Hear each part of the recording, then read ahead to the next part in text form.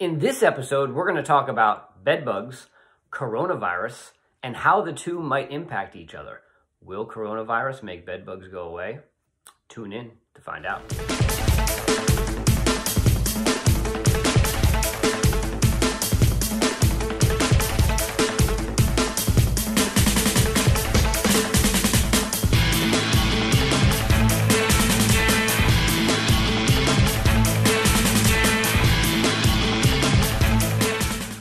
Everybody, to Bedbug TV. I'm your host, Jeff White. And in today's episode, we're going to talk about bedbugs, coronavirus, and how the two may impact each other.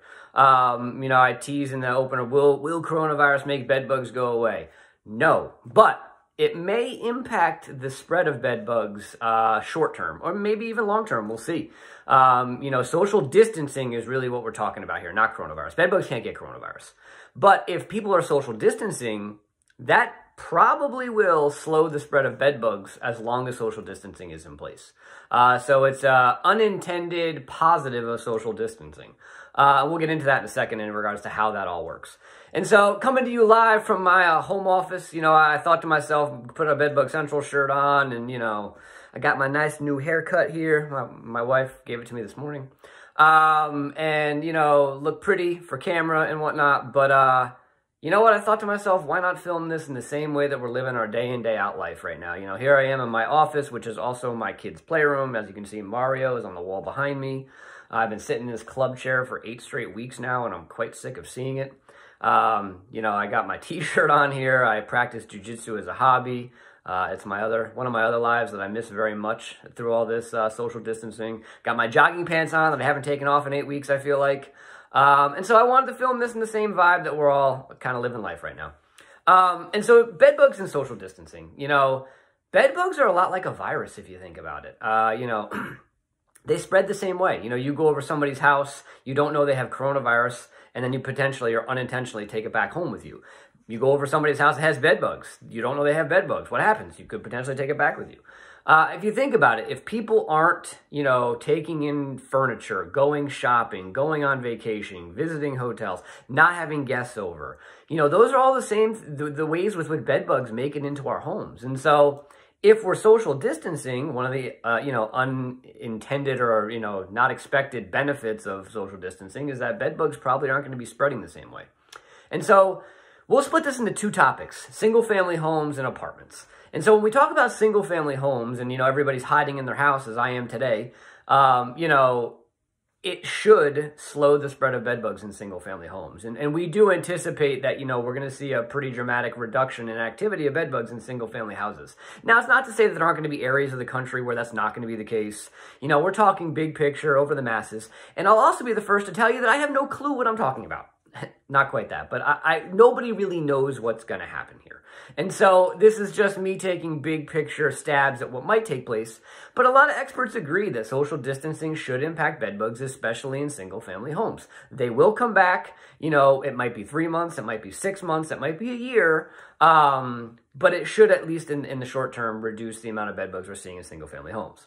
Now, Apartments are a totally different topic. You know, if you have an apartment community that has a history of bedbug activity, especially if there's seniors involved, you know, we unfortunately think that bedbugs are unfortunately brewing behind many closed doors right now.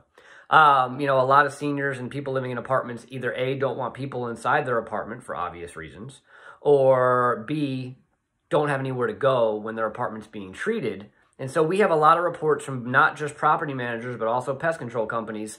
And property managers are saying, listen, I know I have bed bugs behind a lot of these doors, but I, I can't get people to leave and I can't force them to leave right now either. And so we unfortunately think that in, in buildings that have a history, and probably some others as well, you're going to see a dam break here, let's say mid-June or, you know, it's mid-May when I'm filming this. So maybe in about a month, you're probably going to see a huge spike in calls from apartment communities. Because bed bugs that were there before this started are unfortunately still going to be there. And they're just reproducing over that time, and they're probably going to unfortunately be, be uh, worse than when they started. Um, and so if you have an apartment community that doesn't have a history, then you know it'll probably be relatively similar when this is all over. But it's it's the ones that have a history that we're concerned about. There's not a lot anybody can do about it right now. Uh, we just have to hope that you know we find this new normal, which I'm tired of hearing, but this new normal, whatever that is, and we get some access to some of these apartments, and, and we can start knocking some of these bedbug infestations that are brewing uh, out.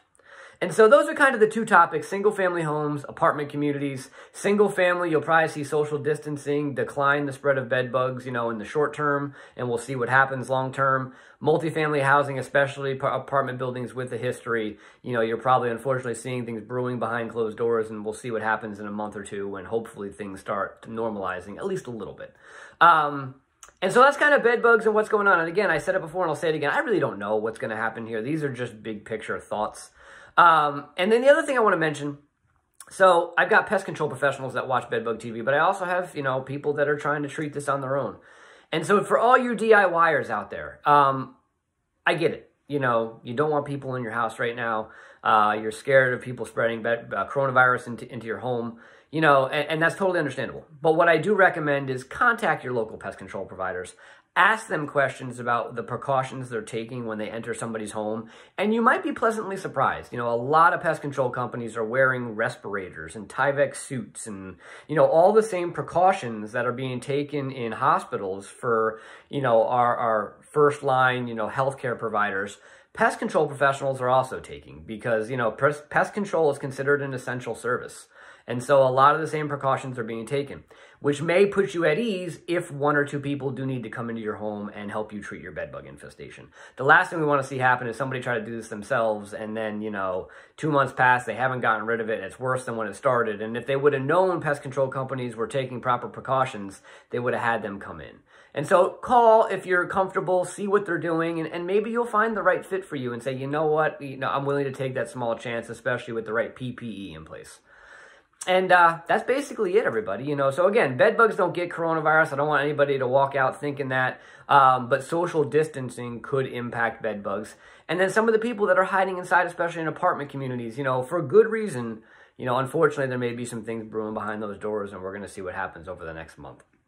And so, uh, if anybody has any questions, jeff.white at bedbugcentral.com. Please email me if you have anything. And uh, I usually say, talk to everybody or see everybody soon enough, but I'm going to say, stay safe, stay healthy, and thank you to all our, you know, frontline healthcare workers that are out there risking their lives on the daily uh, to try to get everybody healthy and back back on their feet again. So thank you very much for everything you're doing right now, uh, all our first line healthcare workers and, and, and, you know, first responders. Thank you again.